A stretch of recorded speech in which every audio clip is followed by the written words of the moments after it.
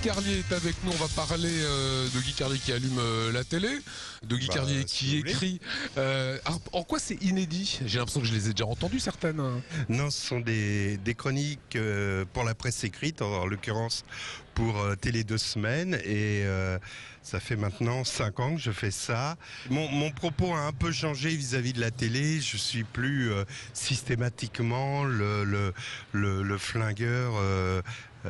pur et dur, il y a aussi des choses qui me touchent, qui me.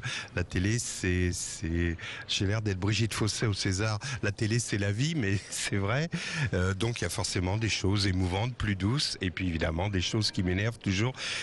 J'appuie où ça fait mal. Vous avez un parcours complètement euh, fou, atypique, directeur financier. Oui. Vous avez bossé pour le père de Bernard-Henri Lévy. Oui. André Euh, Lévy, on importait des bois tropicaux. Oui. Ouais, vous avez bossé pour Adnam Khashoggi. Ouais, qui était à l'époque l'homme le plus riche du monde.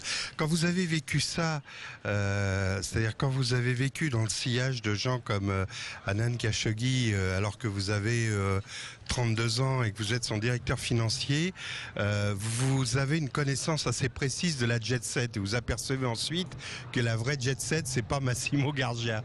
Donc voilà, ce qui m'a permis de m'en amuser après.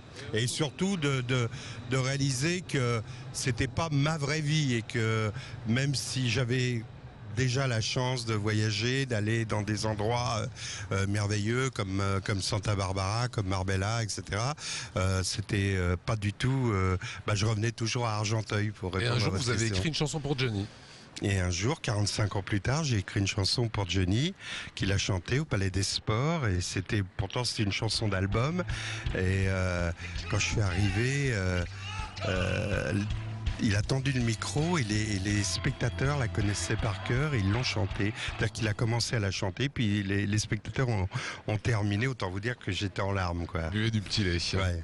C'est quoi le secret d'une chronique réussie Je crois qu'il y a tout à coup. euh, Enfin, vous savez, c'est une alchimie. C'est quoi le secret pour transformer le plomb en or? Ben, Il y a des jours, c'est des chroniques de plomb. Euh, D'autres, tout à coup, vous déroulez, il y a une alchimie, vous savez pas pourquoi. Euh, et ça marche. Là, euh, j'arrive de repeindre, donc je me suis levé à 2h30 ce matin. Il se trouve que depuis deux jours, les- j'ai déroulé les chroniques. J'aurais pu même les écrire en une heure. Euh, mais euh, voilà. Et puis d'autres jours, au bout de quatre heures, j'ai une espèce de mélasse euh, qui est presque à la manière de Guy Carlier qui m'énerve et qui voilà, ça dépend. Il y a des jours comme ça. Donc pour répondre à votre question, si je savais le secret qui fait que un jour ou l'autre, d'un jour sur l'autre, c'est du plomb ou de l'or, je serais le roi du monde, quoi. Guy Carlier, il allume la télé à lire, à se délecter. Merci.